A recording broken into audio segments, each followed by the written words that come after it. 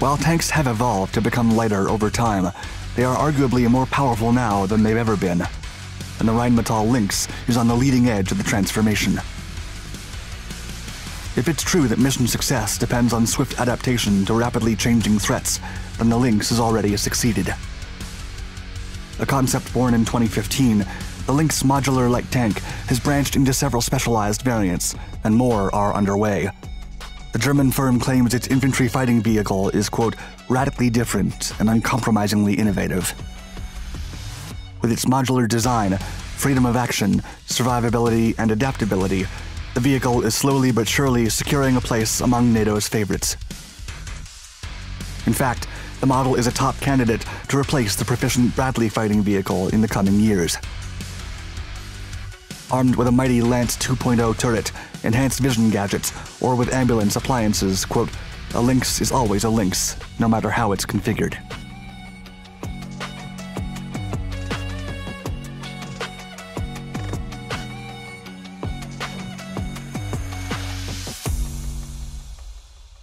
A gap in the market.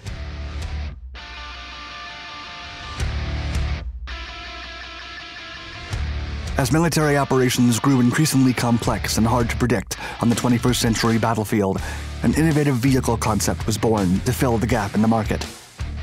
Designed by Rheinmetall Land System, part of the company's Vehicle Systems division, the Lynx was conceived as a family of armored fighting vehicles. Rheinmetall started the endeavor in 2015 as a private venture aiming to provide customers with a modern infantry fighting vehicle that could both counter emerging near peer threats and conduct asymmetric or peacekeeping operations.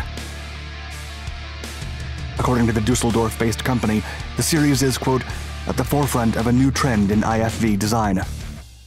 In truth, armored vehicles will gradually evolve to reduce complexity, as well as lower unit and through life costs. Key principle of the concept is the integration of proven subsystems, which feature a high technology readiness level that not only reduces development time and cost, but also technical risk. According to the manufacturer, the platform offers maximum freedom of action, or move, sense, and strike capabilities. As such, Lynx assures outstanding mobility, data gathering, analysis, and dissemination, and flexible and effective response to battlefield threats. Within five years from the initial idea, the elaboration, conceptualization, and development phases were completed, up to the point of the first successful sale. In June of 2016, the Lynx was introduced in its lighter configuration, the KF-31, at the Eurosatory Defense Exhibition. Two years later, the KF-41, a slightly larger but considerably heavier vehicle, was also unveiled at the event. During the exhibition, the KF-41 was displayed in two configurations. First, as the classic IFV, with the vehicle armed with a Lance 2.0 turret. Subsequently, it was reconfigured into a command variant. By the fall of 2020, the first interested country to procure what Rheinmetall called, quote, the most advanced IFV to date was Hungary, a NATO member. After that, the Hungarian government and the Rheinmetall Group signed a contract for a joint manufacturing project. During this time, the Lynx family's flexible design branched into several purposes. In the company's words, quote, Never has the principle of modularity been pursued so systematically.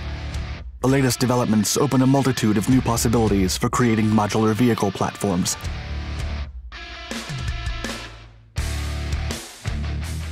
Modularity.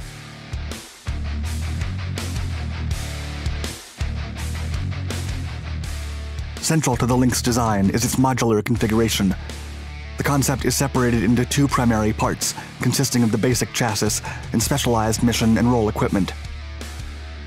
All Lynx variants are designed around a standard drive module of a conventional layout. Built around a sponson-shaped hull, the so-called light tank features a shallow glacis and angled belly plate. And at the front, it has the driver compartment to the left and a Liebherr D9612 diesel engine to the right. When fitted with a turret, there's a fighting compartment in the missile section. Also, a dismount compartment with access via a power-operated ramp is housed at the rear. This rear crew compartment is a mission-neutral space, fitted with C-rails and universal fixing points, providing flexible configuration for specific equipment. Finally, the exhaust and cooling are routed to the rear, thus reducing the Lynx's thermal and acoustic signature. Final drives are mounted at the front, while the rear holds toothless idler sprockets with track tensioners. As for the running gear, six road wheel stations are located on each side. The wheel stations guide lightweight steel or segmented rubber band type track and are mounted on a suspension system consisting of swing arms. Equipped with conventional torsion bars and super shock damper systems, the setup is both reliable and cost efficient. In addition, an assortment of mission kits can be installed at the front. For instance, the IFV kit comprises a turret fitted to the roof, and an armored personnel carrier module features a roof plate for an array of vision devices, including night vision alternatives and a remote weapon station. The combat support vehicle, custom made for the Australian military, features a prominent design particularity. Apart from the turret's removal, the rear was altered to provide a lowered load bed for cargo. Moreover, a 5 ton capable crane was fitted in the center, with additional fuel tanks and storage volume housed below the load bed. The Lynx can take up command and control, armored reconnaissance, repair and recovery, and ambulance roles, among others. And the transformation from one configuration to another can take place either near or in the field within 8 hours. Notably, several other variants are underway, including a mortar carrier with a 120mm mortar, a C2-C3 vehicle, and an air defense variant.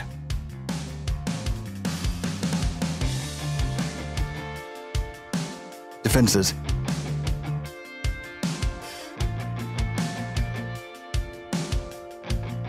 The machine is fitted with several subsystems to facilitate maintenance. The KF-41 is a shared mechanism in the Puma and Ajax vehicles, while the driver's station was taken from the Kodiak. Besides, the tracks are identical to the PZH-2000s, and the Liebherr engine is widely used in the industry. As far as mobility parameters are concerned, they vary according to each configuration. Generally speaking, maximum road speed reaches 70 kilometers per hour, gradability is at least 60%, and side slope traverse capability is 30%. Moreover, the vehicle has the ability to climb a 1 meter vertical obstacle frontally, cross a 2.5 meter trench, and an unprepared fording depth of 1.5 meters. With 900 liters of fuel, the range expands up to 500 kilometers. Also, the Lynx's protection can be scaled according to each specific threat. Its ballistic steel armor was crafted for anti-tank weapons, medium caliber ammunition, artillery shrapnel, and bomblets. However, the specifics remain classified. There are several available kits, including the standard Mounted Combat Operations or MCO kit for protection against similarly armed opponents, featuring an advanced passive component as well as active protection systems. In contrast, the Complex Urban Environment or CUE kit excludes active components. Furthermore, a specialized kit for air transportation is understood to protect the vehicle so that it can be deployed straight from transport aircraft. The AMAP ADS active protection system also provides additional active protection for shaped charge warhead attacks, while an assortment of passive and defensive aids include ROSI, or Rapid Obscuration System, Laser Warning System, and Acoustic Shot Locator System, all integrated with the Lance turret. And besides the heating and cooling ducts, the light tank counts with nuclear, biological, and chemical filtration combined in an environmental control system.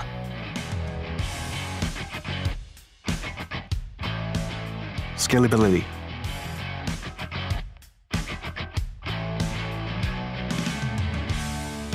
The 2016 Lance turret can fit an autocannon of 30 or 35 millimeters, as well as a 7.62 millimeter Rheinmetall machine gun RMG capable of 800 rounds per minute. Plus, the vehicle can also be fitted with an anti-tank guided missile launcher. As for the 2018 version, it features the Lance 2.0 turret, with flexible mission pods to the sides, providing specialized capabilities. In 2022, the company announced a fire support variant of the KF-41, armed with a 120mm gun. The next generation vehicle will merge a test and tried turret concept and the smoothbore cannon with the classic Lynx KF-41 chassis.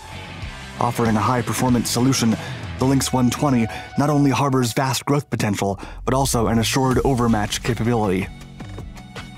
Additionally, the platform conforms to NATO standards and is drawing the attention of several countries, including the Czech Republic, Slovakia, and the United States. In fact, the model is considered a primary suitor to become the replacement for the Bradley fighting vehicles. However, the U.S. Army rescheduled the optionally manned fighting vehicle program and rearranged requirements as well as the acquisition timeline. From mid 2022 until 2027, many companies within the industry will carry out the last phases of detailed design, prototyping, and low rate initial production, including the American Rheinmetall vehicle. And full rate production of the new armored vehicles is expected by 2030.